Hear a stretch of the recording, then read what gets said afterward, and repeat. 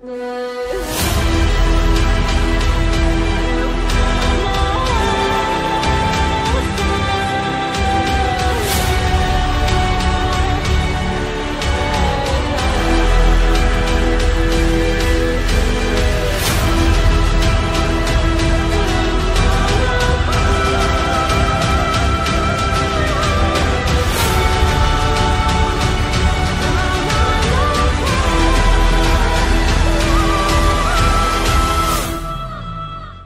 because the corporate man from Dystopia has told us that we have to leave.